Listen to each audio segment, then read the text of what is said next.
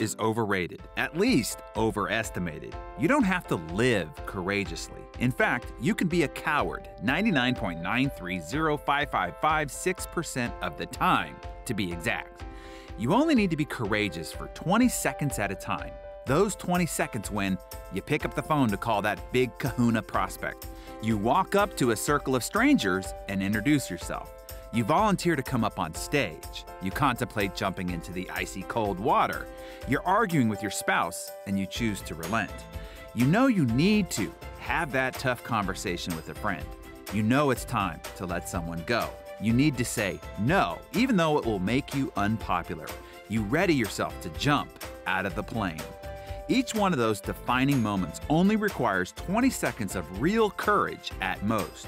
Once the 20 seconds are over, it's easy breezy from there. Fear is an illusion. An illusion can only exist in the absence of reality.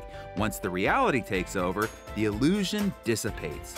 Fear mostly comes in the anticipation of an experience, not in the experience itself. Let's take jumping out of an airplane as an example. Seymour Epstein of the University of Massachusetts at Amherst conducted a study in which novice jumpers were fitted with heart rate monitors that measured their pulses as the plane climbed upward towards its release point. He found that the jumpers' heart rates got faster and faster until just before they jumped. But once they were out of the plane, their heart rates declined dramatically.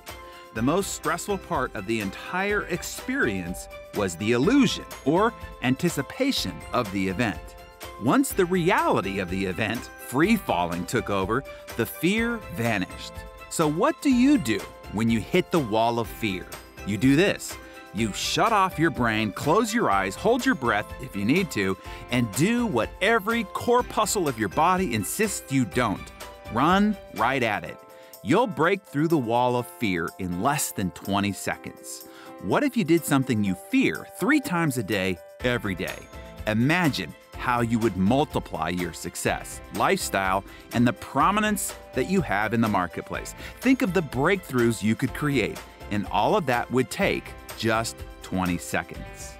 So here's my challenge to you today be courageous for one minute, just one minute. Do three things you're afraid of today that you shut your brain off for 20 seconds and do that thing that you're afraid of. Then share with me what your moments of courage were on our Facebook page. I look forward to seeing your shares.